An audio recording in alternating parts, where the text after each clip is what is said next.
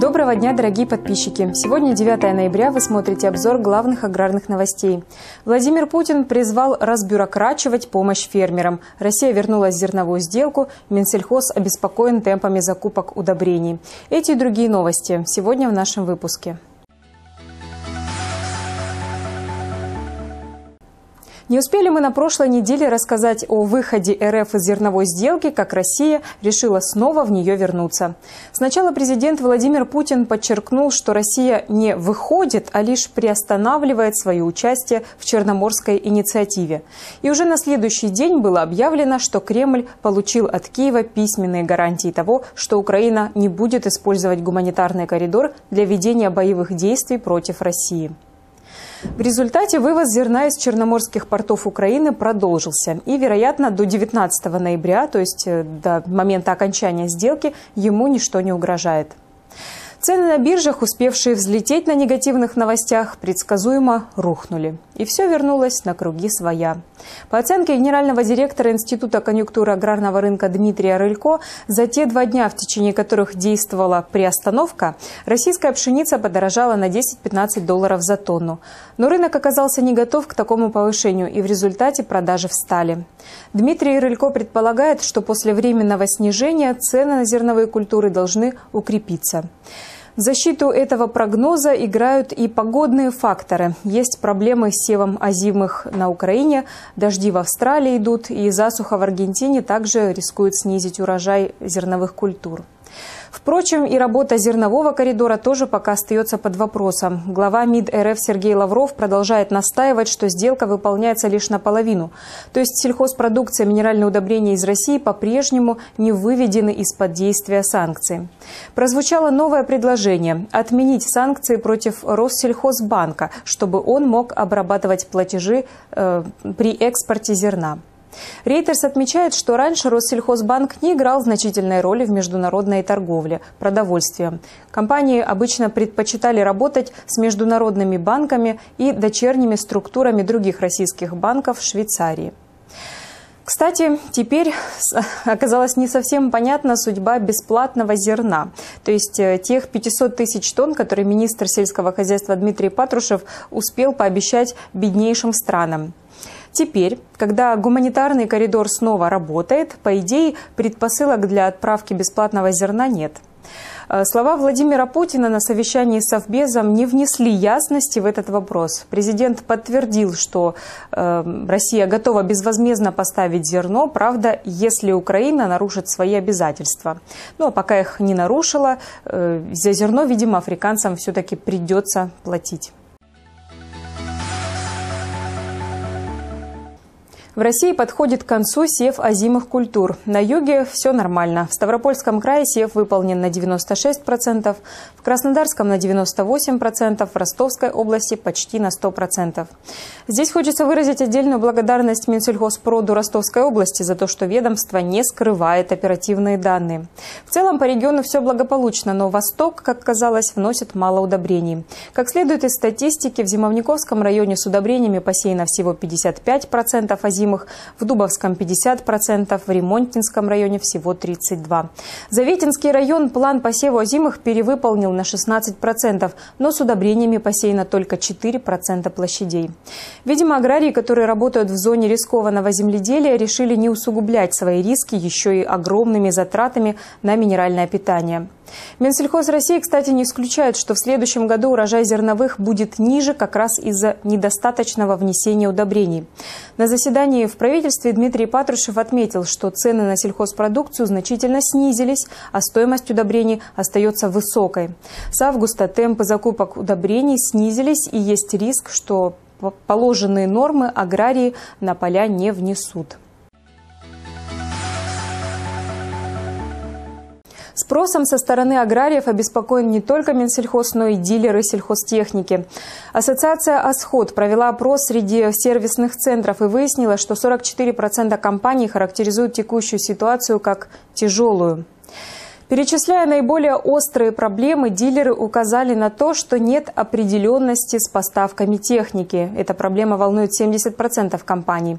Падает спрос 53% и уровень собственного оборотного капитала остается низким.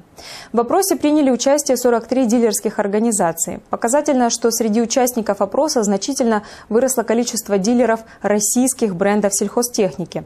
Если в апреле-июне их было 23%, то теперь отечественными машинами машинами занимаются уже 40% дилеров. Российские бренды едва ли станут спасательным кругом для них, потому что спрос падает и на отечественную технику. В ассоциации Росспецмаш отметили, что в августе цены на зерно упали и не возвращаются к прежним уровням. Э, в результате спрос падает. По словам председателя правления «Осход» Александра Алтынова, на фоне общей ситуации с зерном аграрии постепенно пересматривают э, свои инвестиционные проекты и перестают вкладывать в технику, концентрируясь на более оперативных задачах. Эксперт полагает, что инвестиционная пауза задержится и после того, как цены на пшеницу начнут расти. Впрочем, пока по продажам э, российской сельхозтехники даже наблюдается прирост. С января по сентябрь включительно было продано агромашины оборудования на 168 миллиардов рублей. Это плюс 19% к уровню прошлого года. Производство сельхозтехники за тот же период выросло на 6%, но росло оно неравномерно. Всего за это время выпущено техники на 174 миллиарда рублей. Если вы пропустили, то посмотрите, почитайте э, на нашем сайте спецпроект, посвященный сельхозтехнике, особенно интервью с Александром Алтыновым и Денисом Максимкиным из Роспецмаша.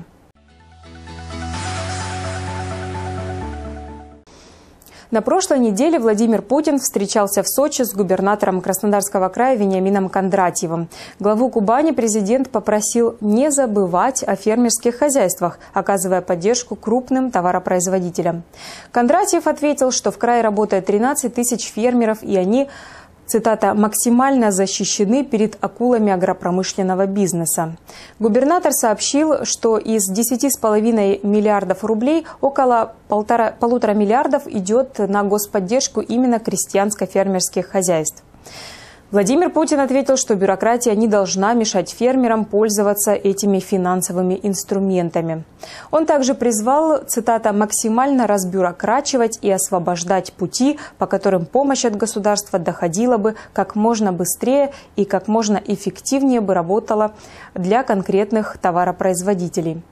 Кондратьев снова отметил, что фермеры сегодня защищены и чувствуют себя даже наравне, что бы мы ни говорили, с агрохолдингами. Пусть не в таком объеме, но они тоже теперь право имеют. И их интересы учитываются в общей агропромышленной э, составляющей региона.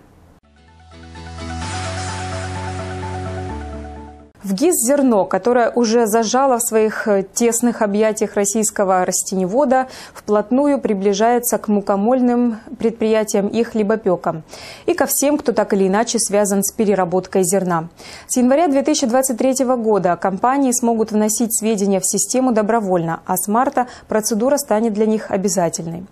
В Российской гильдии пекарей и кондитеров отметили, что для работы во ВГИС «Зерно» придется включить в систему 17,5 тысяч пекарен, которые будут обязаны регулярно вносить огромный объем сведений и информации в систему.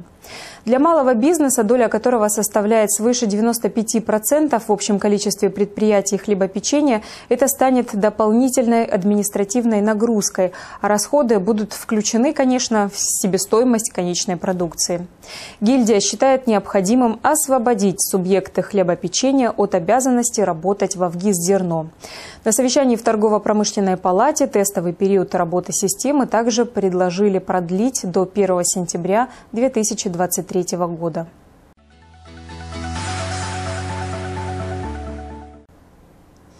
Республика Башкортостан стала лидером рейтинга регионов по площади несанкционированных свалок.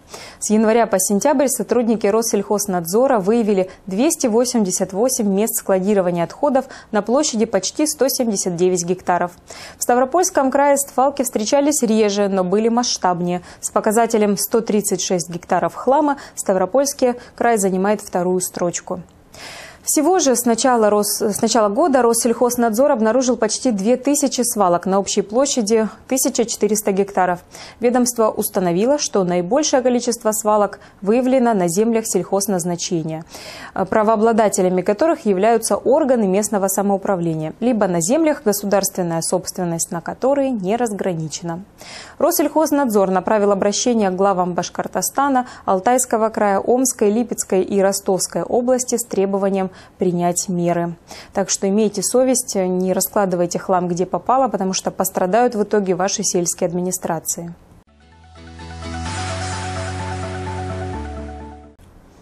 Ну и напоследок, чтобы вас немного развлечь, расскажем пару новостей о технологиях машиностроения.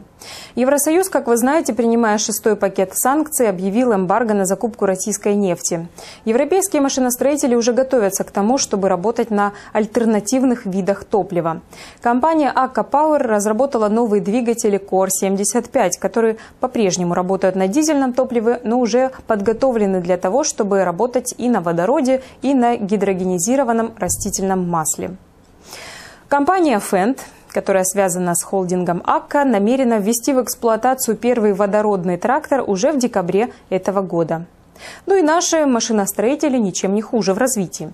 Пока ЕС готовится жить без российского сырья, мы учимся работать без европейской электроники. Петербургский тракторный завод и московская компания «Когнитив Пилот» намерены до конца года выпустить э, сразу 150 тракторов, которые будут работать совсем без операторов. По оценке компании «Когнитив Пилот», э, эти машины смогут повысить производительность обработки почвы на 20%, экономить семена до 40%, и повысить урожайность культур э, ну, вплоть до 10%.